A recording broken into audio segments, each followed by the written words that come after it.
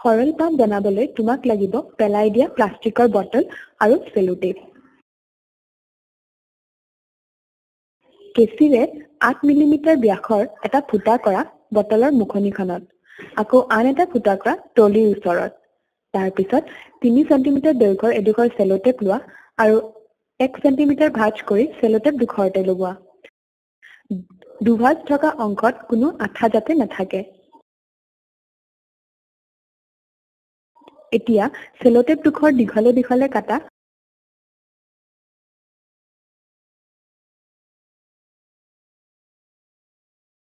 আৰু এটা অংশ লগোৱা বটলৰ তলিৰ ওচৰত থকা ফুটাটোত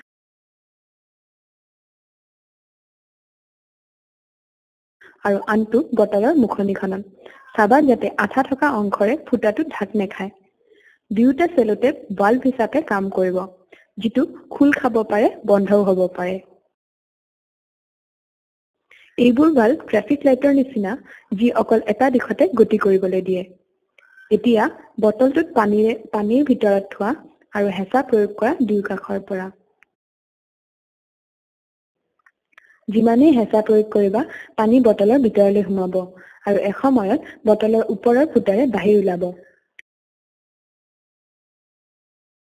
তুমি লক্ষ্য কৰিবা ওপৰৰ ভাল্বটো এবাৰ খোল খাব এবাৰ বন্ধ হ'ব। পেলনীয়া বটল ব্যৱহাৰ কৰি এটি সৰল পাম্প বনাব পাৰা। এইটো ৱাও নহয়নে